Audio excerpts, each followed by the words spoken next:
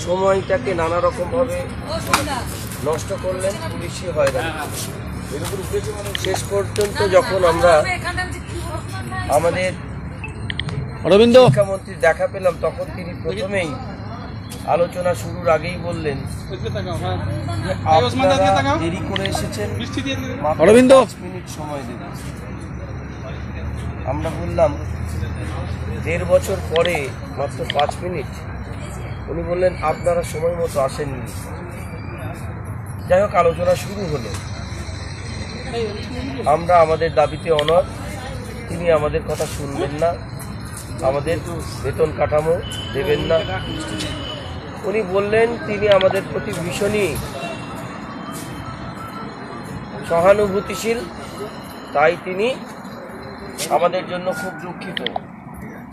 আমরা বলেছিলাম অরবিন্দ। যে আমাদের বেতন কাঠামো না দিলে আমাদের সংসারটা চলছে না। আমাদের মায়না না বাড়লে আমাদের মৃত্যুর মুখে চলে যেতে হবে। পোস্ট করলাম। শিক্ষামন্ত্রী বলেছিলেন পোস্ট হয়ে গেছে। মরে যান। মৃত্যুর ভয় দেখাবেন না। আমরা রাজনীতি করেছি। এগুলো হালকা কথা। আমি ওনাকে পাল্টা প্রশ্ন করেছিলাম। তাহলে কি আপনি আমাদের মৃত্যু চাইছেন? উনি বলেছিলেন আমরা আপনারা ভালো থাকুন এটা চাই। আমি জানতাম। যে এ সরকার অমানবিক, এ সরকার আমাদের বেতন বৃদ্ধি বা বেতন কাঠামো কিছুই দেবে না। তাই সেদিন ইয়ারকিট চলে যে কথাটা তিনি বলেছিলেন সেটাই তার মনের কথা। আমরা মরলেও তাদের কিছু এসে যায় না। মাননীয় শিক্ষামন্ত্রীকে আমি সেদিন বলেছিলাম, আমরা হালকা কথা বলি না। আমরা মৃত্যুর মুখোমুখি হতেও ভয় পাই না। তাই গতবারের আঠাশ দিন টানা অনশন করেছি। এবারেও অনশনে যাচ্ছি। জানি গতবারের অনশনের পরেও আমার শরীরে যে ট্রেস পড়েছিল এরপরে আমার শরীরের ভেতরের গুরুত্বপূর্ণ অর্গানগুলো ক্ষতিগ্রস্ত হবে। এটা জেনেই আমি অনশনে এসেছি। মাননীয় শিক্ষামন্ত্রীকে আমি চোখে চোখ রেখে বলতে চাই, আপনারা রাজনীতির কারবারিরা রাসমণিতে আমাদের মঞ্চে এসে পলিটিক্যাল ফয়দা তুলে রাজনীতির চির খেয়েছিলেন। আর আমাদেরকে ফেলে দিয়েছেন অবজ্ঞা অবহেলা আর বঞ্চনার সাগরে। আপনি ভালো থাকুন। এ রাজ্যের মানুষ আপনাকে কতটা ভালো থাকতে দেবেন সেটা এই রাজ্যের মানুষের চিন্তাভাবনা। কিন্তু আমরা দুহাত ভরে আপনাকে আশীর্বাদ করব। পার্শ্ব শিক্ষকের রক্ত চুষে, পার্শ্ব শিক্ষকদের বঞ্চনা করে কেন্দ্রের থেকে নেওয়া টাকা কাটমানি হিসাবে খেয়ে আপনারা ভালো থাকুন। কিন্তু আমরা এর বিচার দিলাম। এই পশ্চিমবঙ্গের আপনাদের কথিত দশ কোটি মানুষের দরবারে। আপনারা মানুষের দুয়ারে দুয়ারে যাচ্ছেন। যদি বেঁচে থাকি, আপনাকে চ্যালেঞ্জ দিচ্ছি। আপনাদের দুয়ারে সরকার এই কর্মসূচির আদলেই আমরা আটচল্লিশ হাজার পাঁচশো শিক্ষক, দুয়ারে শিক্ষক এই কর্মসূচি পালন করব। আমাদের ছাত্র এবং তাদের অভিভাবকের বাড়িতে আমরা নিজের নিজের জায়গা থেকে গিয়ে দুয়ারে শিক্ষক কর্মসূচিতে আপনাদের বঞ্চনা এবং আপনাদের ধাপ্পাবাজির কথা আপনাদের চিটিংবাজির কথা তুলে ধরব দায়িত্ব নিয়ে। ভালো থাকবেন সকলে। নমস্কার।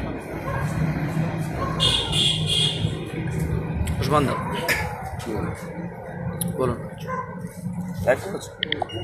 আজ আমাদের এই পার্শ্ব শিক্ষক ঐক্যমঞ্চের অবস্থানের একান্নতম দিনে এসে আমরা একটা চরম সিদ্ধান্তে পৌঁছালাম।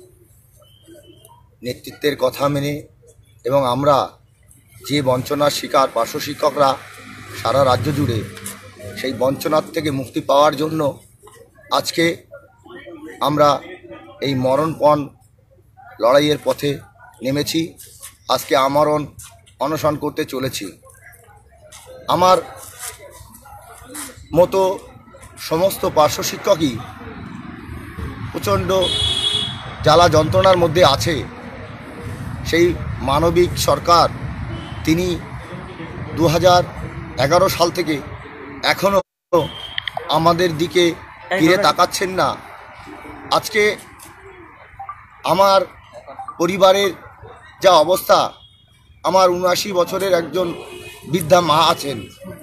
আর আমার পরিবারে আমার থেকে আট বছরের ছোট একটা বোন আছে যে একজন কিডনি পেশেন্ট যার সপ্তাহে চার দিন ডায়ালিসিস হয়।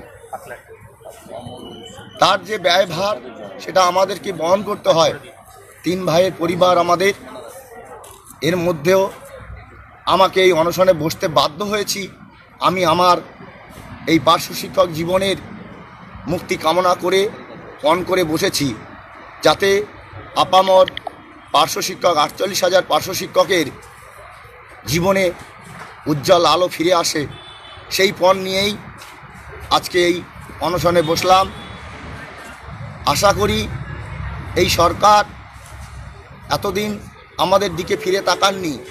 গত বছরের যে আমাদের বত্রিশ দিনের অবস্থান এবং আঠাশ দিনের অনশন হয়েছিল, সেখানেও আমরা আমাদের সমস্ত সাথী পার্শ্ব শিক্ষকরা মরণপণ লড়াই করেছিলাম। সেবারে আমি সেখানে স্বেচ্ছাসেবকের ভূমিকা পালন করেছিলাম। অনশনে বসার সৌভাগ্য আমার হয়নি।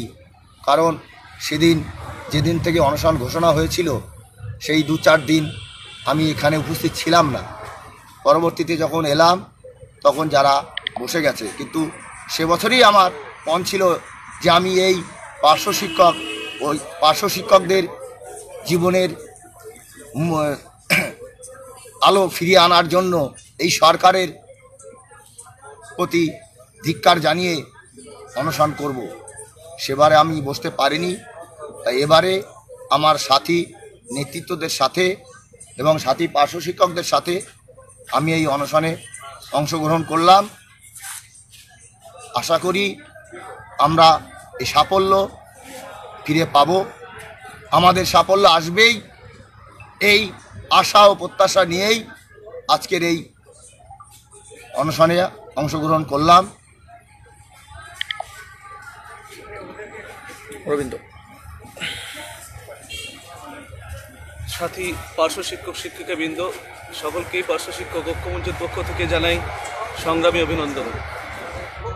আপনারা সকলেই অবগত আছেন যে আমরা আজ একান্ন দিন ফুটপাতে বসে এই মুহূর্তে আমরা সরকারকে বিভিন্নভাবে জানান দিয়েছি আমাদের দাবি দেওয়া নিয়ে। কিন্তু এই অমানবিক সরকার এখনও পর্যন্ত সেই দাবি দেওয়ার ব্যাপারে কোনোরকম ওনার কাছ থেকে আমরা এখনও পর্যন্ত কোনো আশ্বস্ত হইনি। তাই আমাদেরকে আবারও বেছে নিতে হলো সেই মৃত্যুর পথ।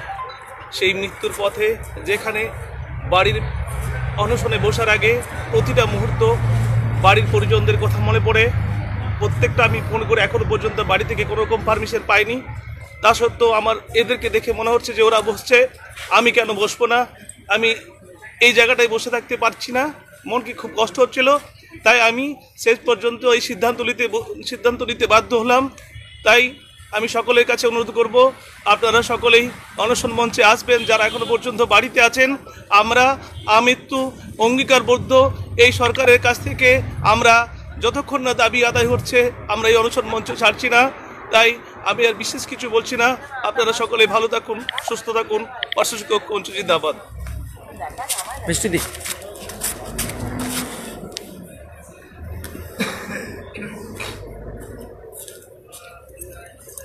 পার্শ্ব শিক্ষক ঐক্য মঞ্চের পক্ষ থেকে আমি মিষ্টি সামন্ত পূর্ব বর্ধমান জেলার রায়না জগন্নাথ আঞ্চলিক বালিকা বিদ্যালয়ের পার্শ্ব শিক্ষিকা।